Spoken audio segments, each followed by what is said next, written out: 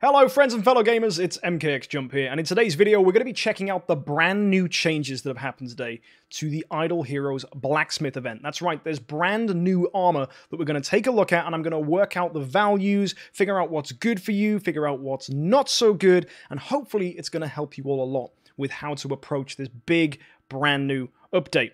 As well, there's a few things about it I don't like, and I always do love ripping a little bit into some content. So let's see if we can put some feedback in DH Games' general direction. As well, guys, before I get into today's video, I'd like to tell you about LD Player, which is a emulator I've been using, and they reached out to me and were like, "Hey, look, you might be interested in this. We know you use other emulators, but you might want to try out this Android emulator we have. So if you guys are interested, I've been using LD Player as an alternative to the emulator we've normally been using.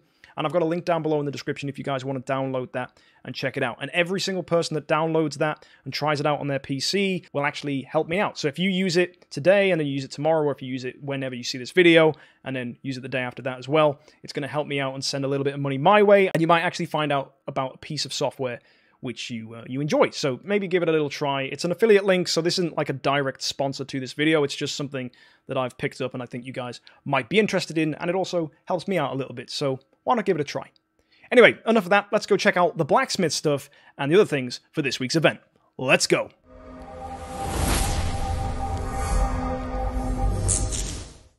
So the first thing to say about this event is it is a prophet orb event. So every day for logging in, we get ourselves a prophet orb, which results in 7 free prophet orbs throughout the week if you log in every single day.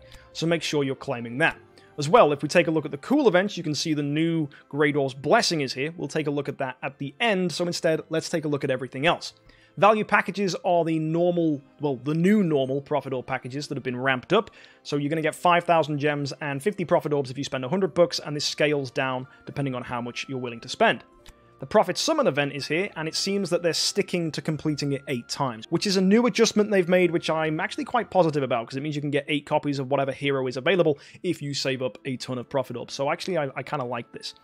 The rewards we get this week, we get Shadow Hero, we get a Fortress Hero, you're getting your usual Light and Darks, and for 60, you're going to get yourself an Oberon and a Core of Transcendence, another new feature that it looks like they're sticking with, so I think always now, for doing 60 Prophet Orbs, you'll get yourself a Core of Transcendence, and if you get to 80, you're going to get the usual 15 Glorious Relics, and for this week, it is a Rogan. So obviously they're stalling a little bit because they kind of had to delay themselves and don't like giving Light and Dark heroes away during Prophet Orb events. My guess is that next month's Prophet Orb event will include Eloise. So if you guys aren't interested in Rogan, or you've got a Rogan, or you don't think he's going to be relevant because you don't need him in PvP because you're facing a lot of focuses in your local PvP meta, then perhaps sleeping on Rogan and waiting for Eloise in a month's time is something you might want to do, because I know a lot of people do enjoy using Eloise in PvE game modes, and GDP has said he likes putting a golden crown. So if you have a splendid golden crown, you might want to try an Eloise in PvP if you have a splendid golden crown. These are some things to think about of whether you're going to use your orbs now or next month, so just bear that in mind and hopefully that will inform your decision, assuming you didn't use 50 orbs last event. As well, Heroic Miracle is here, so this is an opportunity to summon 5-star heroes and get rewards. You need to summon 2 5-star light heroes, 2 5-star darks, and 3 in every other faction, and you'll get all of the armor here, all of the other stuff, and this is pretty great. Now, because of the new update, the armor is now absolutely crucial. In fact, the brand new update has made tons of things like Shelter Mission, this, uh, summon prizes where you get a three star set of armor if you get the copy of the new hero. All those things are going to be way more beneficial now because of this new update. So stay tuned and I'll talk to you more about that a little later on. As well, if you manage to complete Heroic Miracle, you get yourself a Tara copy. An okay light hero, certainly not the best, but I know some people have managed to do solo Seal Land clears with Tara. Obviously, it requires imprints and a good artifact, but that's just interesting and worth bearing in mind. Is it worth building Tara? Well, really, it's probably not worth building that many Light heroes, to be honest. Light is certainly the weaker faction out of Light and Dark, and probably one of the weaker factions in the game, which is a scary statement to say, considering Light and Dark have always originally reigned supreme. So yeah, just worth bearing that in mind that Tara isn't as exciting as something like an Amon Ra or a Carrie could be. And this next thing we have is the Moonlight Gift. Basically, throughout this event, you need to spend 2,500 VIP XP's worth of money, so that's basically 50 bucks, and you'll get all of this stuff you see here, as well as the things you purchase. So you're going to get 50k promotion stones, 150 million spirit, 200 million gold. You're going to get this 5-star luxury selection chest, which includes every single 5-star in the game, excluding light and darks. Even Eloise is in here, so that's pretty interesting. And as well, you're going to get yourself two 6-star puppet selection chests. Now, for some people that have a lot of food, this might not be something you're after if you've got a lot of spirit and a lot of gold. Is it really worth spending 50 bucks? Maybe not. However, for a lot of you mid-game players who are really after food and where hero copies are always something you're interested in, spending 50 bucks is actually not a bad idea. There are lots of areas in the game you can spend this 50 bucks in. My recommendation would be, if you haven't already, just to buy 50 bucks worth of senior privilege and normal privilege cards, like I've done in advance in previous events. That's why mine says 153 days on here, for example. But if you cash all that in, um, there'll be things you were going to buy anyway and actually get you some nice free stuff. So that's a little thing to bear in mind if you want to cheese the Moonlight gift and you're only a monthly card spender. So yeah, pretty useful little trick there you can use. Before we look at the blacksmith stuff, I want to talk about next week's event, which is a massive surprise. It's Heroic Summons. I didn't see this one coming. If I did, I would have delayed how soon we started the free-to-play series, but hey, we're off, we've started, we're away.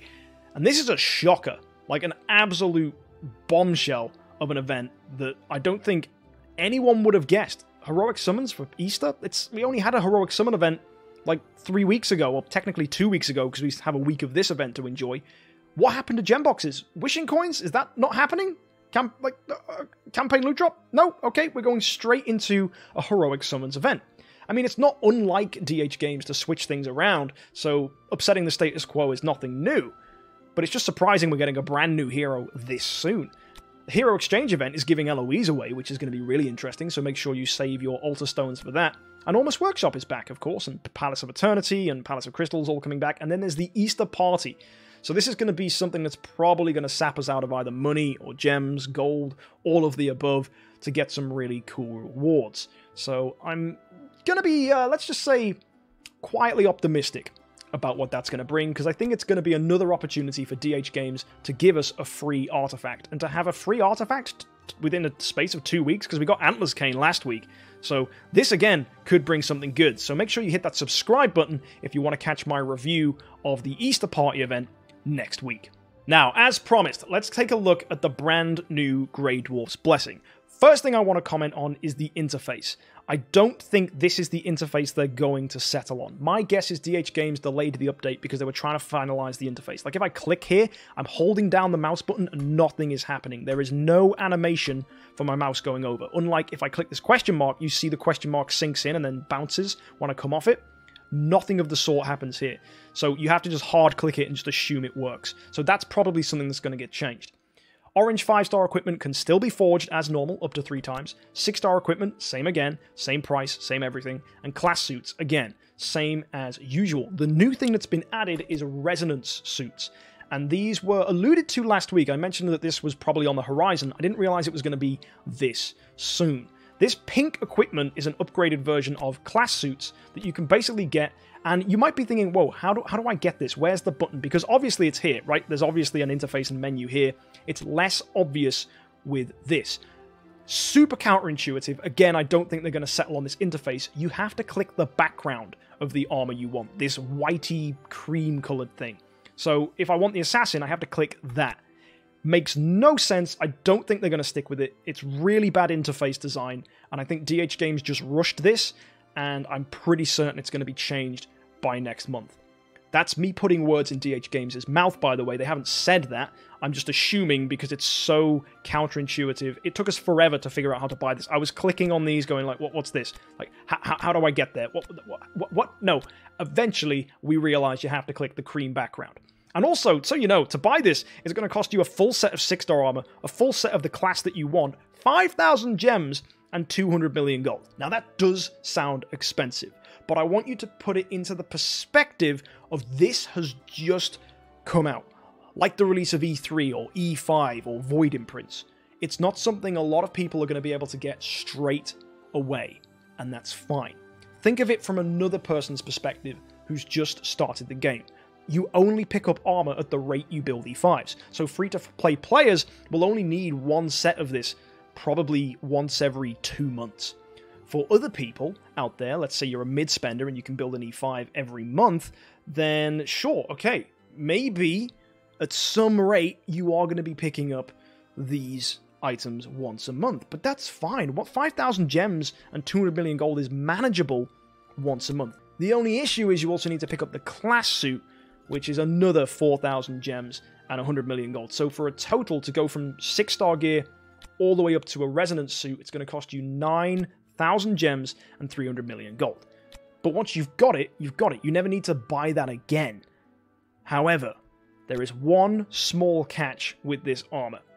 Now, it upgrades your stats. It upgrades all the things that it previously gave. HP here, for example, on the boots, you've got the HP, the speed stats there, but they've added a new feature which is called the Resonance Hero Enchantment. And this is specific to a hero that you have. So what I'm going to do now is I'm going to purchase a set of armor. We're going to go with mage gear just so I can show you how this works. So let's go take the mage gear from my Void Vortex. So I'm going to yoink that. Then we're going to go back across to the Door's Blessing. We're going to press Forge, and then we're going to go to the Resonance Suit menu. Now let's click the Weaver's Suit, and you'll see I have everything I need. I don't have that many gems, but I'm going to spend it for you guys. So let's go. Let's forge up ourselves a set. Kablam. There we have it. And now I have a full set of Resonance Mage gear. Brilliant. So let's go back now and let me show you what this armor does. Best way I can show you this is actually in the blacksmith. Funnily enough, this little hut that's been neglected for eons is finally going to be useful. So let's click on the blacksmith and you'll see there's three new menus. First one is Forge, which has always been there, which is where you can spend gold to merge armor together to make better armor. You have the Disassemble Equipment menu. This is a game changer. We'll talk about this in a second. But Hero Resonance, this is the big thing that I want to say. So, as you can see, this item here that I have, which is my weapon, is linked to Starlight, and it can be linked to any hero that fits the class and is a 5 star. So unfortunately, there's a lot of bad heroes this could attach to. Aiden, Bleaker, OD, Flamestrike, Margaret. You get the idea. There's a lot of heroes that you don't want it to equip to, which is a bit of a pain, but it adds to some RNG, I suppose. Now, what you can do is select the hero you want, so let's say it's Tix, and I can spend gems as well as this currency down here and it's going to increase the chance that it switches it to Tix. Because every time you convert it, it will re-roll and give you a new character. Spending gems makes the likelihood that you get the hero you selected higher. For it to be guaranteed, you have to do it six times. So it could cost you as much as 3,000 gems. And that's just for one piece of armor. So for a full set of armor, that's 12,000 gems before you've even considered the 5,000 gems you need to spend to get it. And instantly, I know a lot of you, just on the sound of that, your stomachs are churning thinking, oh god, DH Games, why would you do that to us? And I was the exact same when I heard this. However, you can just convert as normal, but it has an equal chance of it giving any hero on this list. And it costs you a million of these crystals, just like it would, but without the 500 gems, to swap there. So how do you get these crystals? Are they going to be really hard to get your hands on? Well, no. Surprisingly not. See this 3-star gear we have here? Just by putting in one copy of that, it's going to give me 4.7 million. And I have 28 in there. And that's just for weapons. If I go to my chest pieces, I have another 29 here. For the necklaces, that's another 20 I've got. For boots, another 21. And that's just 3-star orange gear. And if you really wanted to spend 4-star orange gear, that gives 14 million a time, which is 4 opportunities to respin on your piece of armor. Now, is that worth it? You might think immediately, of course it is. That's 14 million. That's amazing. But bear in mind, it's very difficult to get 5 star armor and 6 star armor. Or is it? Remember that guild update that came out a while ago? Now it looks completely different. So does the store. You can buy armor from the store. So if you need a bunch of these crystals, you can just spend your hard earned thingamabobs, these things, I don't know what they're called, you can spend them in the guild store to get armor. And a lot of the stuff in this guild store seems pretty cool, but the limits are quite low, and really, there's easier ways to get copies of heroes, and especially once you've got the heroes, do you really need to be picking up more? Well, yeah, sure, grabbing another Sherlock or Tix might be cool for some people. But people that are worried about grabbing armor, it's actually quite cheap. 7,200 of these coins is going to pick you up Courageous Armor, for example, which is your 4-star armor, and that's going to get you 14 million crystals. However, for 3 times the price, you can get 5-star gear. Now, let me just show you how much 5 star gear can get you in the disassemble equipment. One single piece of 5 star gear gets you 43 million. That's actually a little tiny, tiny bit better. In fact, I would go so far as to say it's probably the same after rounding. So, you guys can buy a lot of stuff from the guild store to get all these crystals, if you were so inclined, and if you didn't have the armor already. But I already do have the armor, so I'm going to go and disassemble a ton of this stuff. We're just going to go with the 3-star gear because there's no reason to have 3-star gear. And look, that, there you go, 133 million. Yeah, I, am going to disassemble that. Yep, Ch cheers. Yeah, thanks. And we're going to do it for the chest pieces. Oh, nope, not my 4 stars, but there you go. 29 of these. Thank you very much. Another 138 million. And do bear in mind, this has been accumulated over three years of playing. I'm aware a lot of you probably don't have this much three-star gear, but I'm trying to show you just how ridiculous this number is. Because I'm going to walk out of this just by using my three-star orange gear with 468 million. That's 468 chances to get the heroes I want from this. And bear in mind, there's only that many mages in the game. I think I'm going to be fine. So let's try and reset this for Tix. First roll gets me a Jahra. Okay, I'm going to cancel. And it's just like stones, right? Let's convert again. Sherlock. Pretty cool. But again, don't need it. I want to go all in for a Tix. And see, it's hardly using these crystals. It uses a million at a time. I don't know why anyone would spend 500 gems because there is a button right next to it which I've realized I'm in the way of for this entire video because I'm a muppet. So if I lift my camera up, you'll have a much better, clearer sight. See, see where it says resonance conversion down there? Yeah, that button's free. Doesn't cost anything. So uh, yeah, let's let's convert again. So here we go. And eventually, Tix will pop up. Margaret, no, I'm good. Ada, pretty cool, but no, I'm fine. And sure enough, if you keep trying, I promise. Tix will show up. Jahra's come up for a second time, that's fun. Now, one thing we don't know is the odds of all these heroes showing up. So my guess is that it's equal across all the heroes. It might not be. So I think it's going to require a data mine or something to find out the odds. But I think it's a bit scummy if it's not equal, because they should tell us that. But there's nothing anywhere that says it isn't equal, and I think they have to disclaim probabilities of things, so eventually the hero you want will show up. For example, there we go, Tix. Perfect. Thank you very much. Now my weapon is attuned to Tix, which means Tix, when he's using this weapon, will get plus 6% all damage dealt on top of the other bonuses. Now let's go to this chest piece. Let's do the exact same thing. Resonant Convert. Eventually, Tix will pop up, and just for the funsies of it, I'm going to put Tix in the corner just because it may increase the odds. I mean, it doesn't, I'll be honest, but you know, it's it's it's nice to try. And hang on a second, did we have a Jahra and it gave us a Jahra? Am I, am I going crazy? Was that a thing? If it can give us the same hero, that's really scuffed. But I hope it's uh, not the case. There you go, there's a Tix. Fine. And we've only used 16 million, I think, of our crystals so far. Hardly, hardly any at all compared to how many I had. So let's go now to this, again, Flame Strikes here. So let's just convert this until Tick shows up. Aiden, no thanks. And the only thing that's going to be annoying is just how long it takes to do this. But eventually, the hero we want will come up. Mim, pretty cool. I think that's the first time Mim's popped up, actually. But I will put Tix in here just because I want him to show up. Oh, there you go. Magic. And that's another 8% HP that Tix will get when he's wearing this item. And finally, finally, guys, we got one more piece to do. It's the boots. And that's going to give Tix plus 10 speed. Now, that's something I'm going to talk about the fact that this gives speed is kind of scary because it means that in PvP, having this armor is going to be crucial to make your hero the fastest there is. That's why I'm giving it to my Tix because he's Void 4 and I want to make sure that he is the fastest compared to any other Void 4 Tix that could be on the battlefield because Tix is my pretty much creme de la creme, the best hero that I have on my PvP team.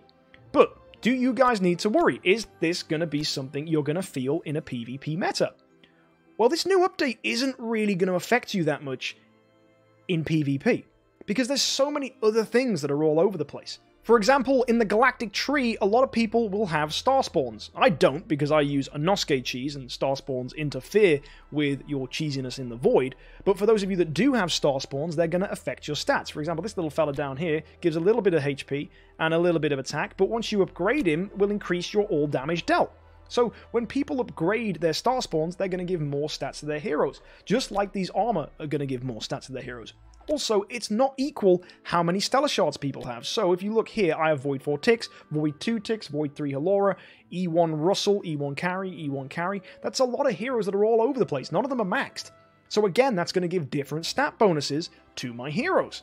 So it's this same problem that I think is happening in the PvP meta right now, which is that everyone's all over the place. No one has really hit endgame unless they've spent thousands and thousands and thousands on Cores of Transcendence. And a lot again to upgrade the eggs, to get the star spawns going. And those people, sure, they're going to get this armor on day one, but you don't need to.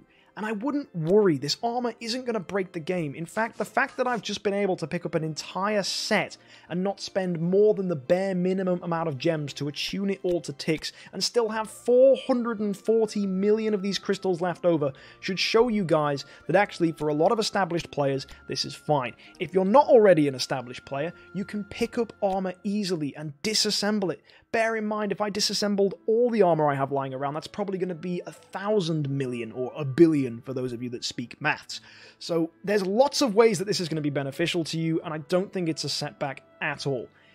Go and chase this down for the hero that you want and the heroes that you want to attune it to, and I think the only problem is going to be for people who have a lot of E5 heroes and like moving their armor around. Because you can only pick up three sets of this now, and it's expensive technically, to attune it to a bunch of heroes. So if you have an assassin set, you have to choose which bits are going to be attuned to your Sword Flash and which bits are going to be attuned to your Ithaca.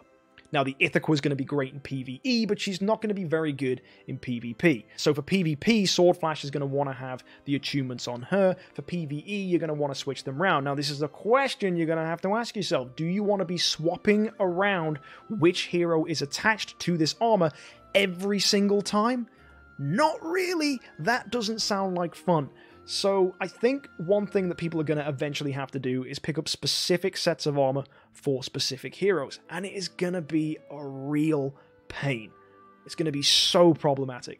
Another thing we're going to have to weigh up is whether it's better to have a full set of armor that's resonance on your hero, or it's still okay to split your armor like we've been doing in the past 2 and 2 split, 3 and 1 split. So we'll probably work that out with further testing in the future, although I can actually try this right now with my Tix. So let's see what's going to give Tix the better attack stats. So if I give him the full resonance gear, and for argument's sake, let's keep him with this golden crown, let's take a look at what that does to his attack stat. He is now on 253,725. Now, if I go and do the usual thing we would do if we wanted to go 3 and 1 split, let's see if this gives better armor. So we're going to put 6-star gear here, 6-star gear there. Going to put this down. If I can go find another piece of 6-star gear, I'm going to yoink it off Sherlock. And I'm going to put this on. Now, is this going to give him a higher attack stat? Hardly. All right, look at that. 260,000 as opposed to this. 253,000. It is close. In fact, the difference is negligible because what he's gaining is all damage reduction, HP, and speed. But then again, in many game modes, damage reduction, HP, and speed aren't really going to make that much of a difference. Then again, he does get plus 10% skill damage from this, and he is getting plus 10% precision, things he wouldn't be getting from the 6 star armor. So I think, for once, finally, the difference is negligible. But because it's negligible, it means you can probably still get away with doing a 3 in 1 split and not feel the pain. So you don't need to have tons of these. And if this was the case, if all I wanted on Tix was 3 in 1 split, I would only attune this piece to Tix, which means I could then use the other three pieces on different heroes. So let's say I go to this Tix, I can then build him with a 3 in 1 split with, let's say, the Weaver's Necklace on the bottom, and then, for a Sherlock, for example, if I wanted to build him 2 and 2, I could give him the two armor pieces there and then two 6-star pieces there. Is it optimal? Yeah, I suppose. I guess if you tune it nicely, it's great. And considering there's only three resonance sets you can pick up this event, if you did go and go crazy because the limit is 3, then yeah, sure, that's probably still how we're going to have to be equipping our armor. But I think eventually people are just going to try and have full resonance sets for all their major heroes, and that's scary for lots of people who have an account like mine where you have a ton of E5s. I really don't want to be picking up full resonance sets for all my E5s. And if you consider that to maximize the Void Arc you want 15 E5s, 15 sets of resonance armor is a lot of sets of resonance armor. In fact, if you were buying them every single opportunity you had, you would have to wait five months to pick up 15 full sets of resonance armor. So it's going to be a slow burn, it's going to take its time, and I think I wouldn't worry so much about tuning to heroes because that's not going to cost as much as it's going to cost you in time to get all the armor you need. So, my friends, do you need to go spend gems to refresh the hero on your resonance armor? No, you can do it with these crystals just fine. If you're short on crystals, go to the guild. And this update, all in all, is pretty cool. It's about time, just for my OCD, I can finally have all pink things on his equipment menu. And that alone makes me happy. So there you have it, guys. That's the event, and the new event, and the look at next week's event.